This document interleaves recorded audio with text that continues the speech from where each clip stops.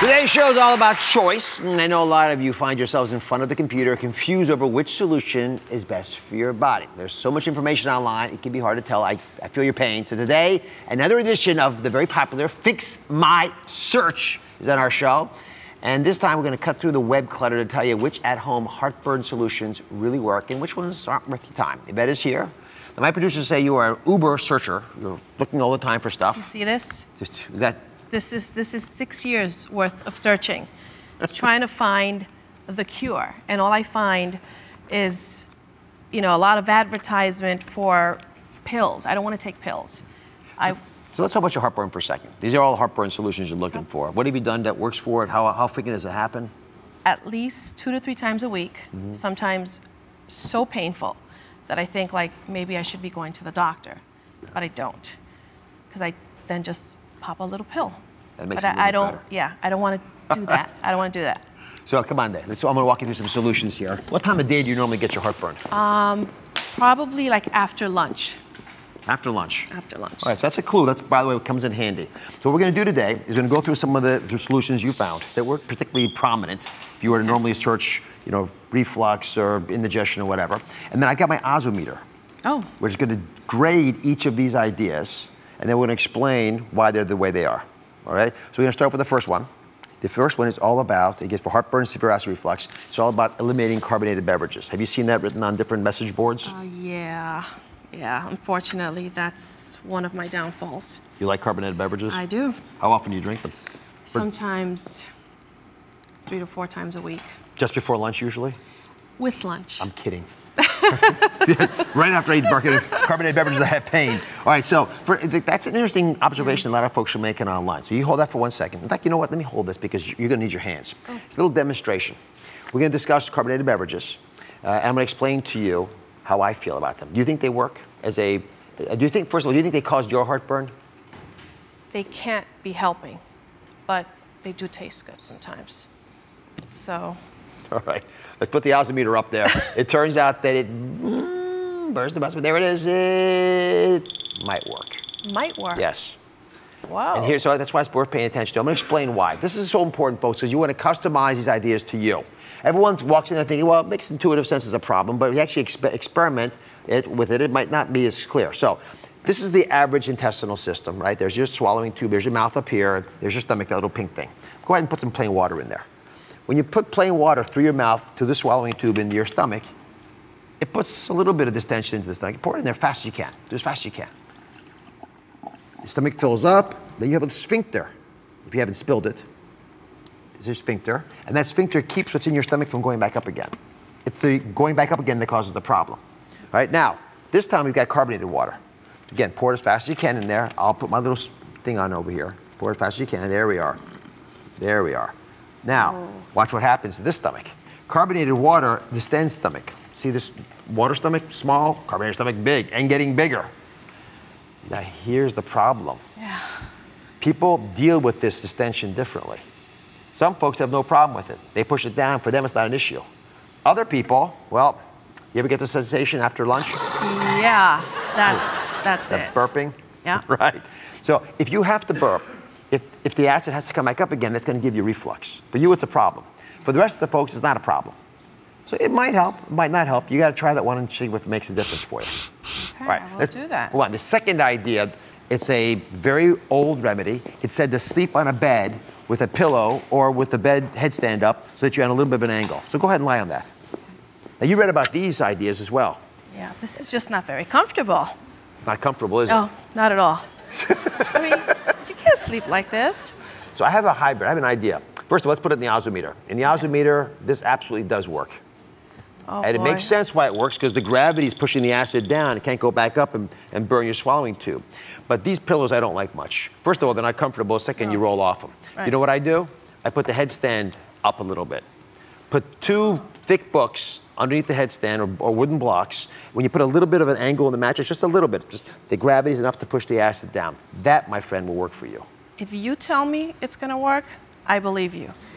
This Okay? if we and, and I'm gonna come back I'm gonna come back and tell you if it worked. I got it. Okay. Becky, what we're gonna do? You're gonna do it right now, and we're gonna post immediately, so people don't have to even wait for you to come back. Okay. We'll know if it works or not.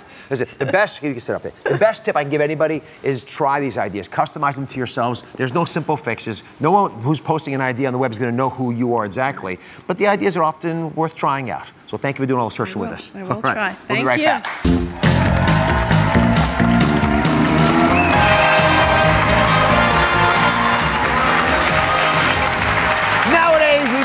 Everything on our phones, even dating. But any woman will tell you that you can't judge a book by his cover photo. So, what about food? Same thing may apply there. Can you tell what's a good choice just by the way it appears?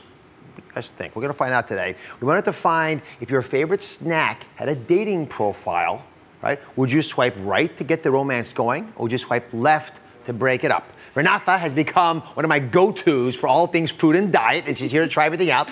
And she happens to be an expert on many things besides food. So this is sort of like Tinder. I'm not, I'm not on Tinder. I don't know. Do you have any experience on the site? Dr. Oz, hello. Yes, you don't know what Tinder is? Yes, Tinder is uh, very popular for dating. And of course, you know, this, you said this was a dating show, so I had to come cute, okay? You are cute. Absolutely, thank you so much.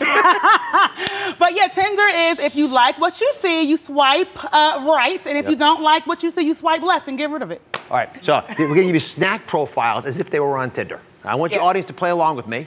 We gotta decide if you would take the bait on these things or not. The first profile is kettle cooked potato chips. Okay.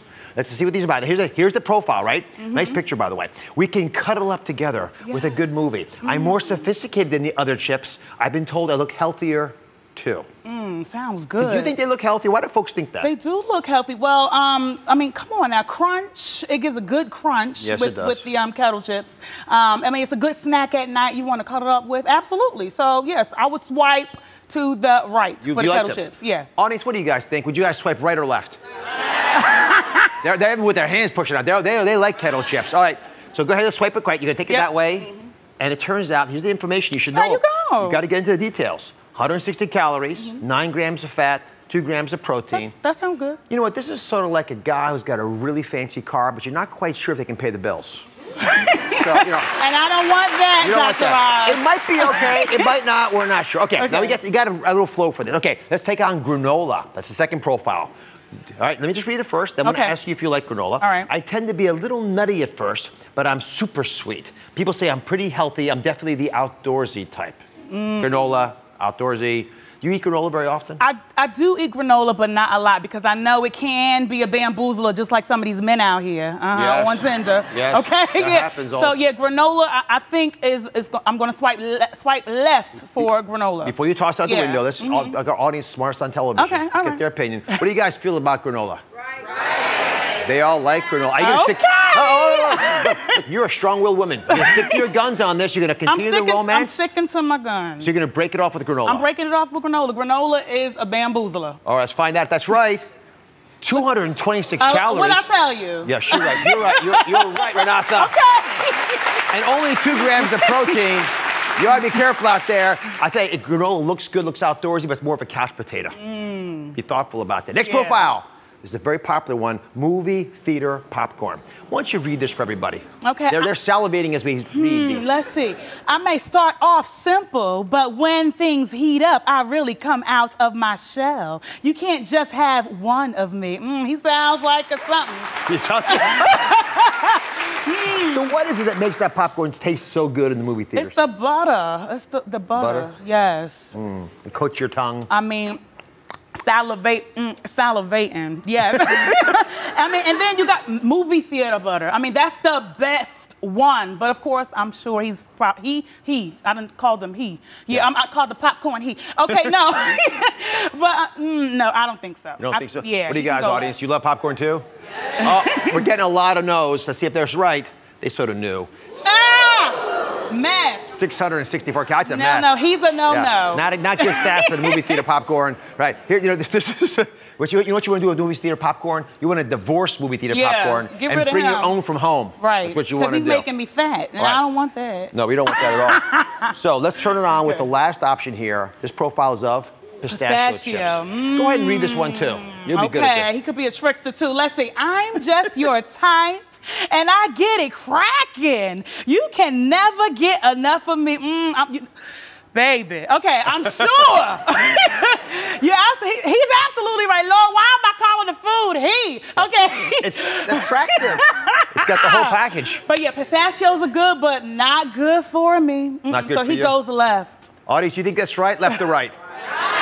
They want to go right. I'm, I'm, I'm, you gonna, you stay loyal or you I'm, gonna? I'm, I'm gonna. I'm gonna stick to my guns. Pistachios, nuts, mm, can be oily, all that kind of stuff. Right, Well, right. let's Yeah. find out Okay. pistachios' true colors. That's why we're playing the game. Right, mhm. True colors are a lot of Bam! calories. How about, oh, oh, here's the deal. Here's the deal. Okay. 562 calories, 20 grams 20 of gra- protein. Yeah. Here's the, even though Okay. they're high in calories, Okay, okay, they're okay. so loaded with the good fats, so loaded with the protein, they help your cholesterol, your heart. All right. You know what? You ought to settle down with pistachios. That's okay. a long-term relationship I'm we're going talking a few there. more dates with pistachio. Renata's a wonderful. Thanks for being here. Remember, Thank you. when you choose what's best for yourself, your body thanks you in all sorts of great ways. Mm. Love you. Thank you for watching. Don't forget to subscribe and turn on notifications so you never miss out on new videos to live the good life.